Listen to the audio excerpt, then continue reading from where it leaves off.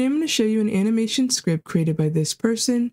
It supports QB, ESX, and standalone options and comes with over 1000 animations. With those, you have group and synced animation options, previews, and an option to place them. There are also custom weapon styles and options for pointing, putting your hands up, crouching and crawling, holstering, and disabling combat rolling and leaning.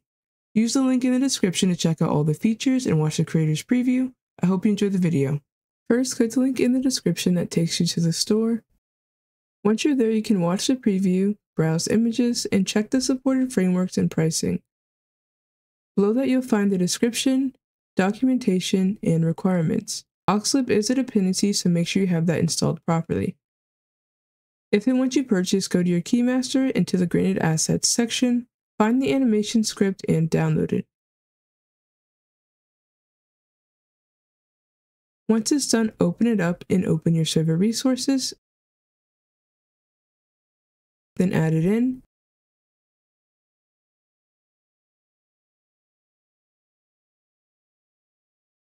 Then go to your server config and ensure it. It must start after your framework and Oxlib. Next, open the documentation and on the first page there's general information about where to find the animation list, adding more animations, and changing the color of the menu.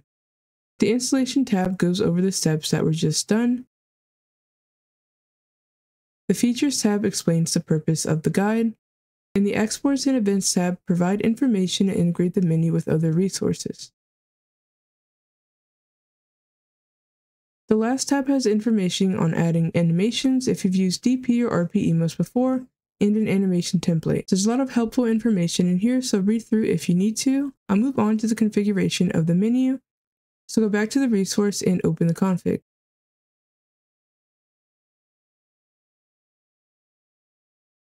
The first option is the framework you're using. With this set to auto, it'll be detected. You can also manually input one of the options in the commented out text. Next are options for the language and using Discord logs. The commented out text tells you where to set up the webhooks. Then there are keybinds for opening the menu, canceling emotes, and the emote command, followed by an option to disarm players when doing an animation. Next is an option to enable placing animations, freezing when placing them, and the distance and max height for placing them. Then there's the max group distance and a timeout for animation requests. Below that are options to use the custom gun styles and disable the idle camera when doing the animations. Next, you can share saved data between characters or make them character specific. If you don't want it to be character specific, change true to false. Then there are custom animations that are already set up. If you purchase the animations below, uncomment them to use them.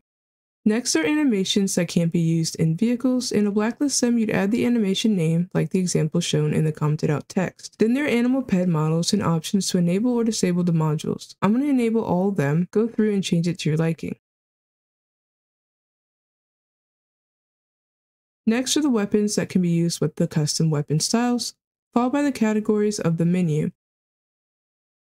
In the last section are the placeable types. If you make changes, be sure to save them, then start your server and test it out. If this video was helpful, consider supporting my work by ordering a VPS or transferring your current one of One of One servers using the link below. Created by the team behind Project Sloth, One of One servers is a top VPS provider for popular FiveM servers delivering unmatched uptime and performance. They offer the best DDoS protection, super fast 10 gigabit per second internet speed, and exceptional support via Discord and tickets with 96% of tickets answered in under 30 minutes. With locations in Dallas, Ashburn, Chicago, and Europe, they ensure low latency and top-tier reliability.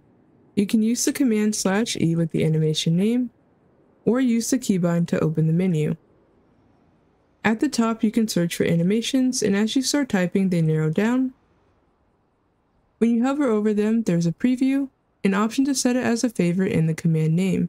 You can also set a keybind for it by clicking where it says none, then holding shift and selecting a key. Once you do that, you have options to confirm, clear, or cancel. Next to searching is the group feature, which I'll show shortly, and the ability to filter through them. Each have a preview and the options mentioned before. If you have placing the animations enabled, once you right click it'll bring up the menu with controls at the bottom. So use Q and Z to move it up and down, G to place it on the ground, and the scroll wheel to rotate. You can also press escape to cancel it.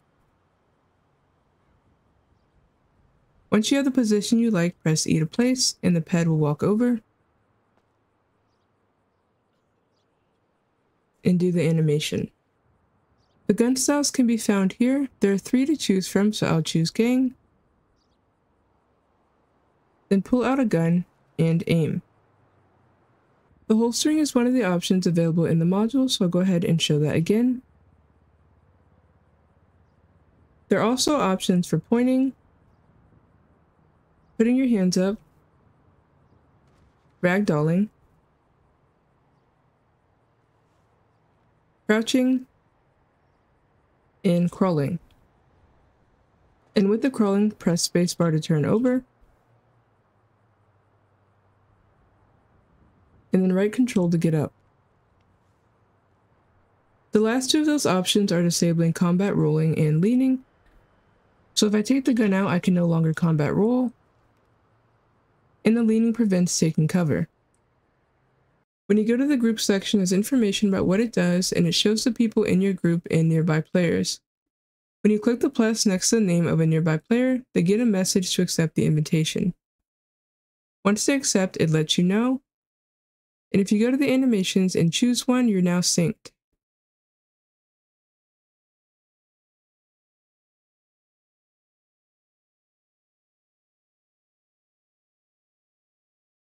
You can remove them by going back to the group section and clicking the X. In the shared section, you click one, and once they accept, the animation will play.